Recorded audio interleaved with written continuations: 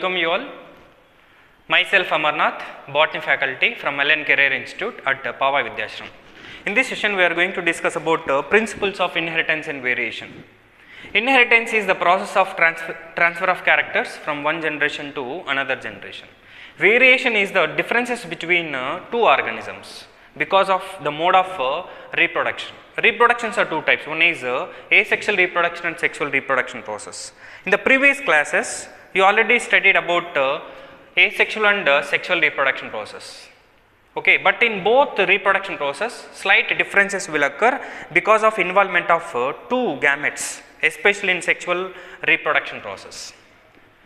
In this chapter, principles of inheritance and variation, in NEET examination point of view, there is chance to ask questions from the experiments which was done by Gregor John Mendel with respect to the monohybrid cross and uh, dihybrid cross and several experiments done by T.H. Morgan and his uh, student and at last uh, in NEET examination point of view they will ask questions from sex determination and chromosomal disorders and uh, genetic disorders.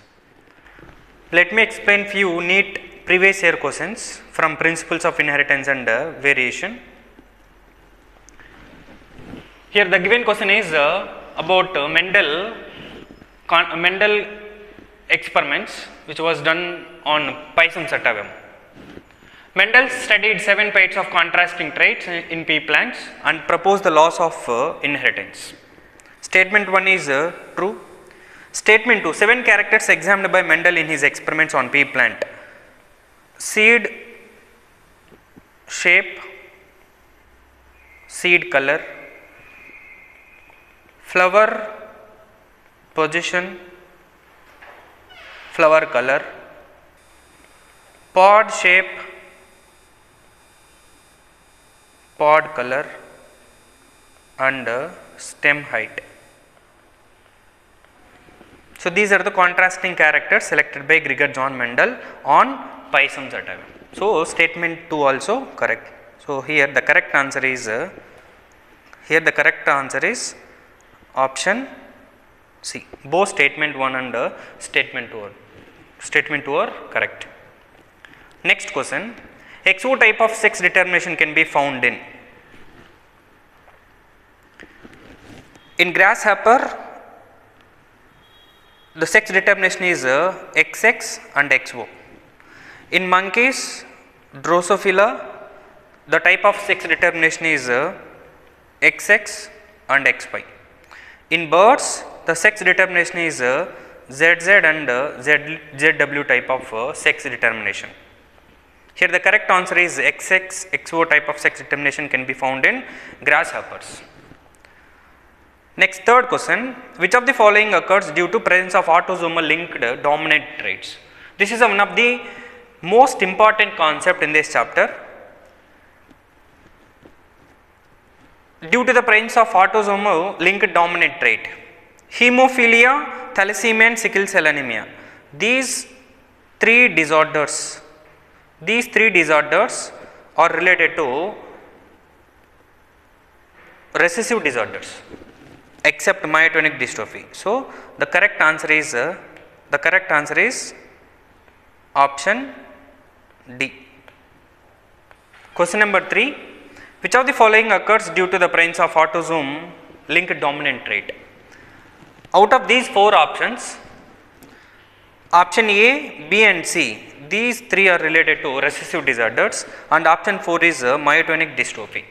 Regarding this myotonic dystrophy, dominant alleles are capital A, capital A or it may be capital A and uh, small a.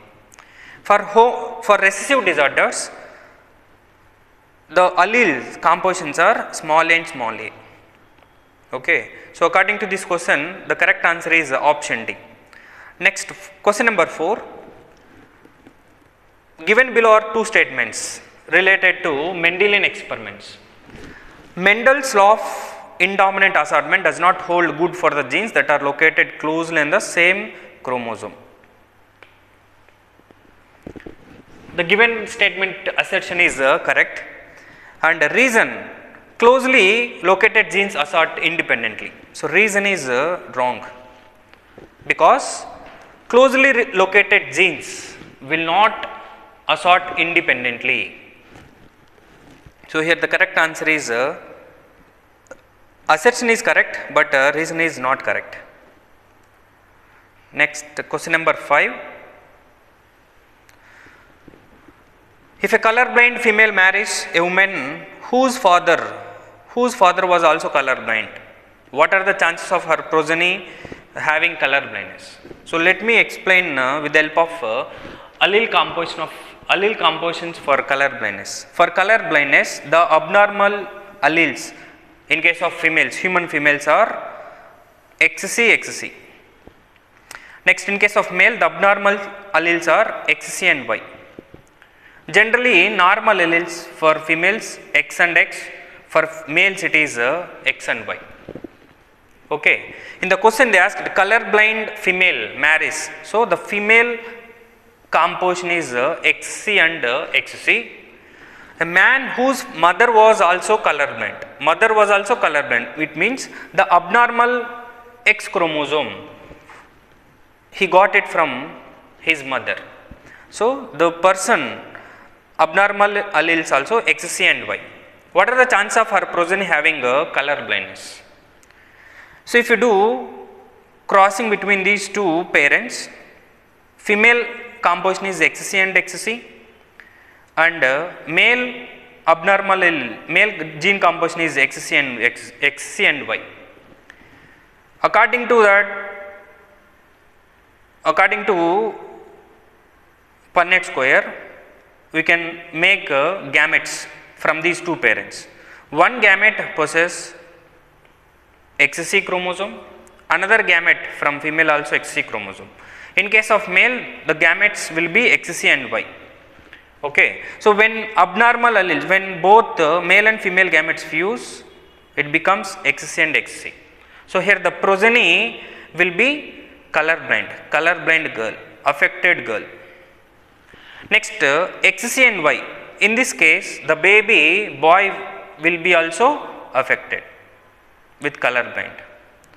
Next, third progeny, baby girl, she is also affected because from both mother and uh, father, she is getting uh, abnormal alleles. And the last one, excessive from excessive from mother and normal allele from father. Okay, the one here out of these out of four children, only one child is uh, only one child also not normal. So here all childrens are affected. So the correct answer is here uh, option B. 100% in this case children will be affected. Okay. In this session we all we have discussed about uh, principles of inheritance and uh, variations. In next session we are going to discuss about few more uh, previous NEET questions. Hope you understood. Have a nice day. Thank you.